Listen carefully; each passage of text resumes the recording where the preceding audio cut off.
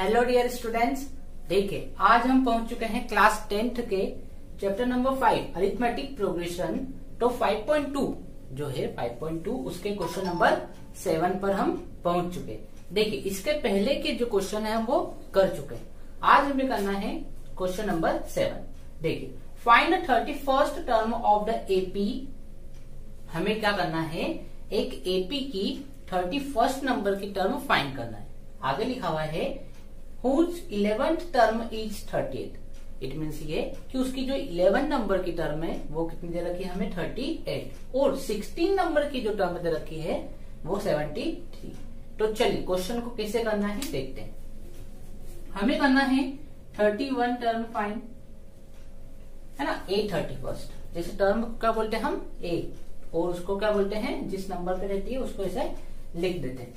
आगे दे रखा है उन्होंने कि इलेवेंथ टर्म इट मीन्स ये ए इलेवन हमें दे रखा उन्होंने थर्टी एट और ए सिक्सटीन दे रखा है सेवेंटी थ्री ये है हमारा क्वेश्चन चलिए तो अब इसको सॉल्व करते हैं। देखिए फॉर्मूला अपने दिमाग में अपन को रखना है। कौन सा रखना है? हमेशा से जो करता है। A N equals to A plus N minus one multiply by D ये होता है हमारा फॉर्मूला और इसी के ऊपर हमें क्वेश्चन करना है। चलिए ए एन तो एन की जगह पे हमें रखना है इलेवन क्या रखना है?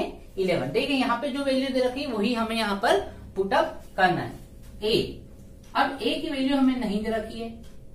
एन की वैल्यू है इलेवन और डी की वैल्यू भी नहीं दे रखी है.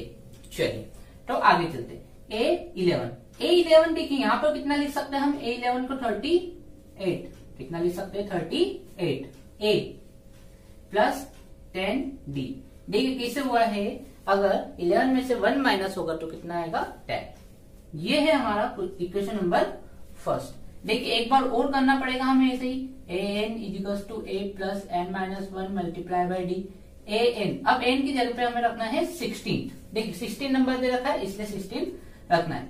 A plus sixteen minus one D A sixteen sorry A sixteen की देखिए वैल्यू हम यहाँ से लिख सकते हैं seventy three equals to A plus fifteen D ये हो जाएगी हमारी इक्वेशन नंबर सेकेंड देखिए, ये दोनों हमें इक्वेशन पहले बना लेना है। अब क्या लिखना है? देखिए, लिखना है हमें यहाँ पर by equation first and second है ना? इक्वेशन और फ़र्स्ट और सेकेंड को हमको क्या करना है? इक्वेशन फ़र्स्ट और सेकेंड को सॉल्व करना है। देखिए तो यहाँ पर लिख लेते हैं हम। Thirty eight A plus ten D. दूसरी इक्वेशन है हमारी seventy three. A plus fifteen.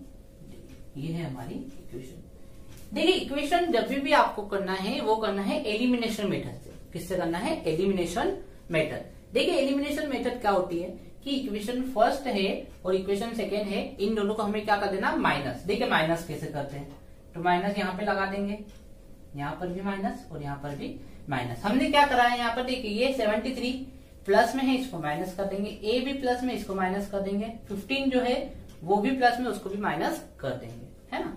ये अपन को सॉल्व करना है। अब देखिए 38 और minus seventy three seventy three में से 38 को माइनस करना है।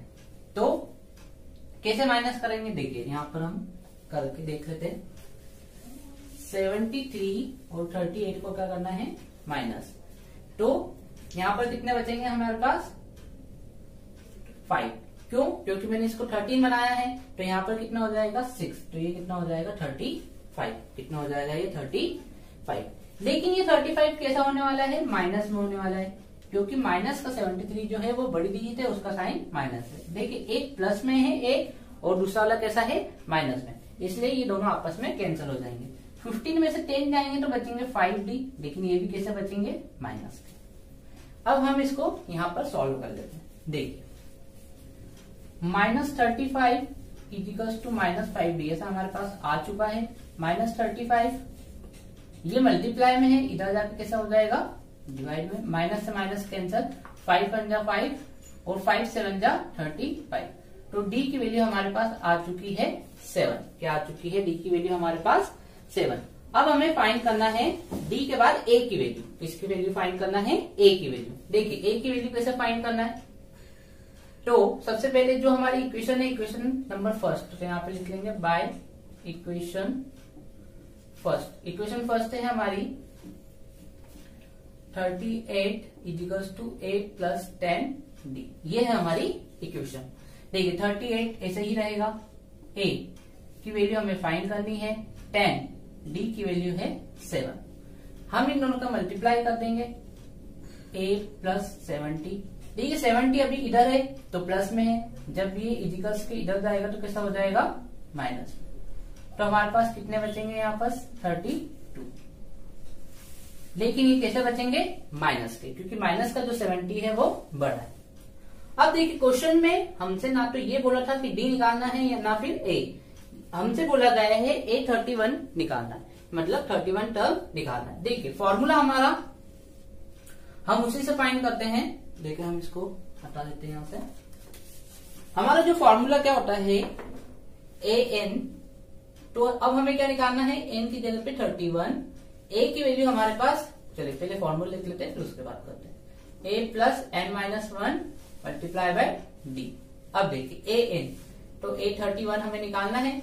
ए की वैल्यू है हमारे पास minus thirty two plus N की वैल्यू है हमारे पास thirty one minus one D की वैल्यू है seven A thirty one is equal to minus thirty two plus thirty multiply by seven तो A thirty one is equal to minus thirty two plus इन दोनों का हम जब multiply करेंगे तो कितना आएगा?